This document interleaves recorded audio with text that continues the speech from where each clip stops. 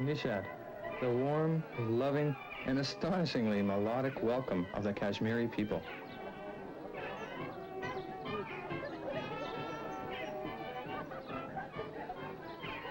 Here in a spectacular meadow in the foothills of the Himalayas, we would spend the next six days immersed in the joy and wisdom of Gopi Krishna.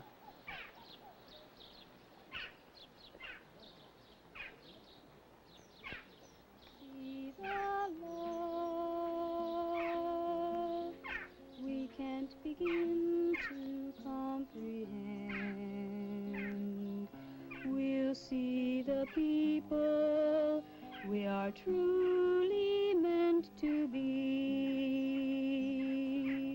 Love has a way to hold our hearts as one. And the road we run is often lonely. Those who have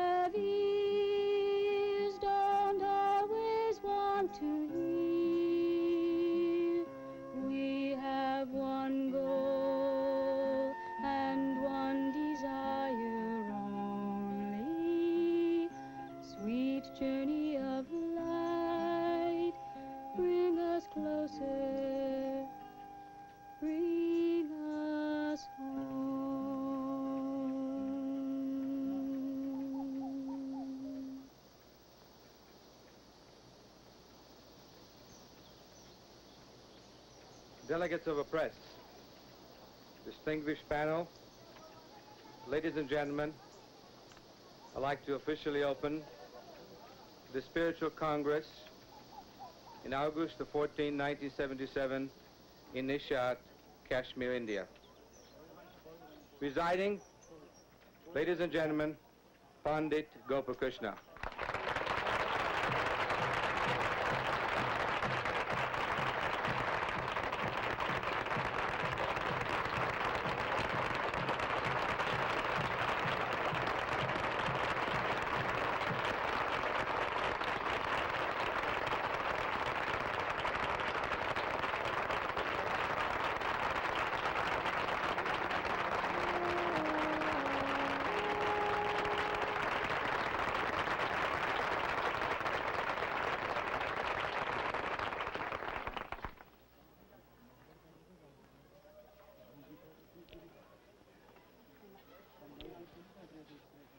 Once again, I extend my heartiest welcome to you to this holy place which is known as Gopi Tirth. The ancient name of this spring close by is Gupta Tirth. Gupt means hidden, and Tirth means a place of pilgrimage, a spring. But the word Gupt has been corrupted to Gopi. So, by a strange coincidence, this place bears my name. I do not think there is any coincidence in this world. Everything is ordered and planned. I purchased this piece of land perhaps more than 40 years ago.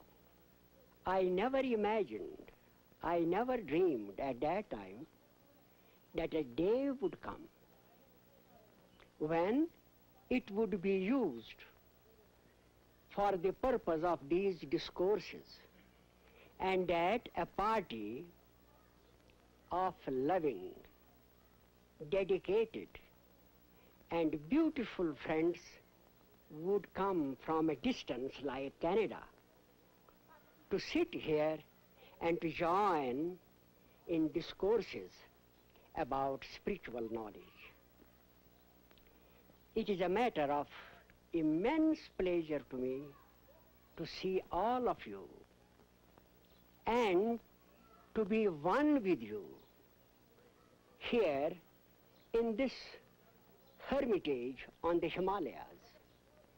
And once again to repeat what happened thousands of years ago when seekers after knowledge came to Himalayas to pick up the wisdom which still persists in the ancient scriptural books of my country.